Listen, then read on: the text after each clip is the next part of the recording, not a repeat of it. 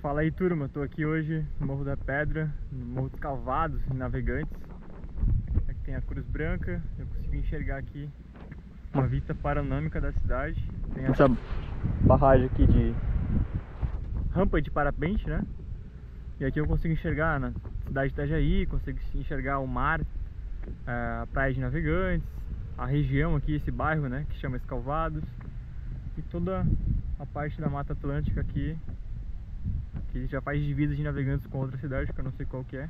Não sei se é Luiz Alves, eu não sei qual que é o nome da cidade vizinha. Também consigo vislumbrar um pedaço da cidade de Penha. Tá, vou deixar algumas imagens aqui. Tá aí a vista. A famosa vista aí. Apesar de que já tá escurecendo, quase 6 horas da tarde. Deixa eu ver exatamente que horas são agora. São 5h50, só falta 10 minutos para as 6 Então as nuvens aqui já estão tampando, né? A serração tá bem forte. Mas eu consigo enxergar o mar ainda. Aqui eu consigo enxergar lá o porto de Itajaí. Não para de piscar. O BR-470 Toda essa área verde aqui que é muito bonito. A igrejinha, cemitério. Gostei daqui. Vou voltar quando tiver a estrada mais seca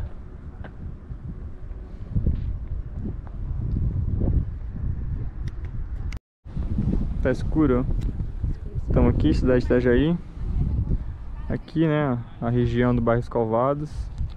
Famosa Cruz Branca. Aqui a barragem, barragem não, a rampa de parapente. E lá atrás, praia de navegantes.